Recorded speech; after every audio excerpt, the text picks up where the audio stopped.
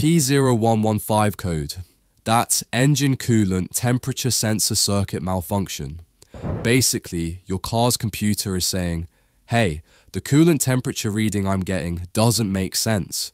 The ECT sensor is a little two-wire sensor that tells the PCM how hot the engine is. The PCM uses that info to control fuel, ignition timing, cooling fans, pretty important stuff. When the signal is out of range, missing, or stuck, you get this code. Step 1. Check the coolant. Pop the hood and make sure you actually have coolant in the reservoir and radiator. Low coolant can cause weird readings, or the sensor might not even be touching liquid at all. Step 2. Watch the gauge or scan tool data.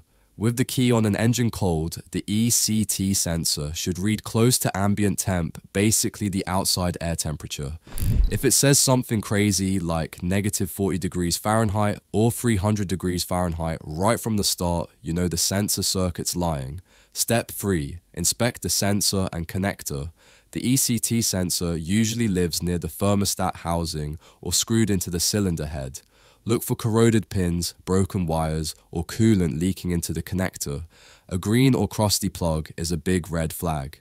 Step 4. Test the sensor. The ECT sensor is just a temperature sensitive resistor. You can unplug it and measure resistance with a multimeter.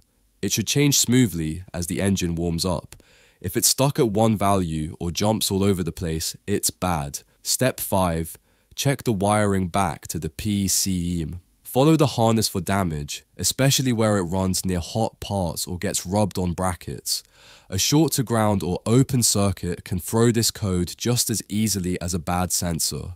Step 6. PCM problems. Rare. If the coolant is full, the sensor is good, the wiring checks out, but the reading is still garbage, then and only then do you start thinking about the PCM itself. Quick checklist for P0115. Verify coolant level is correct. Compare ECT reading to ambient temp when cold. Inspect sensor and connector for leaks, corrosion. Test sensor resistance versus temperature. Check wiring continuity back to PCM. Last resort, PCM issue. A lot of the time, it's just a cheap sensor or corroded connector. Do these checks in order, and you can usually nail it without too much hassle. If this helped you out, hit like, subscribe, and I'll see you in the next one.